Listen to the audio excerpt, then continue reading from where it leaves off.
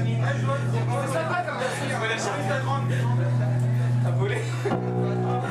prochaine chanson c'est pour Violette et comme on l'a jamais fait en concert on va peut-être se planter en plus.